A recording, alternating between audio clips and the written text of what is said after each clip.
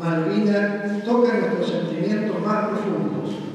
Por eso, todos los años, desde la Municipalidad de Vicuña Maquena, conmemoramos esta fecha. La que no nos dejamos pasar por alto bajo ninguna circunstancia.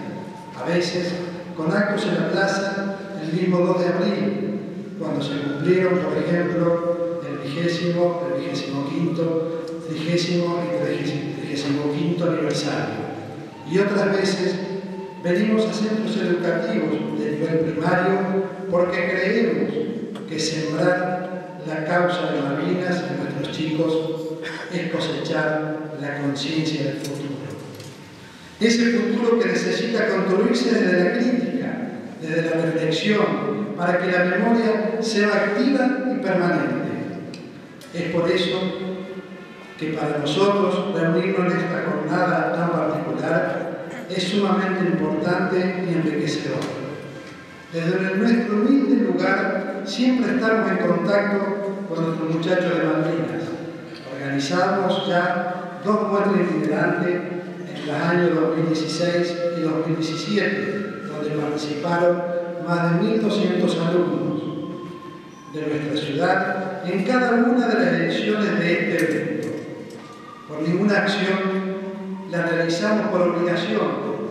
Estamos convencidos que homenajear permanentemente a nuestros veteranos de guerra es un modo de activar los acontecimientos históricos para que nadie los vea lejanos, sino en una actualidad permanente que nos lleva siempre a la reflexión.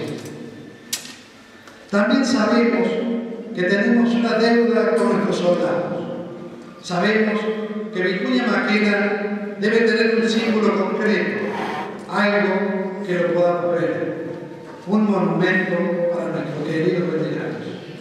Es por eso que hoy puedo afirmar que la Municipalidad de Vicuña Maquena, a través de la Subsecretaría de Obras Públicas, ya tiene el diseño de lo que será ese monumento en honor a nuestros veteranos y que dentro de algunos minutos vamos a compartir en imágenes de la obra antes mencionada.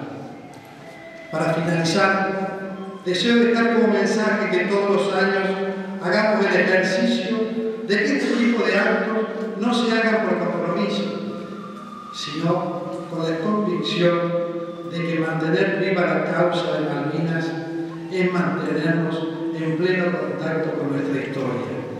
Una historia que nunca debe ser estática, sino que nos lleve siempre al análisis y a la reflexión una y otra vez.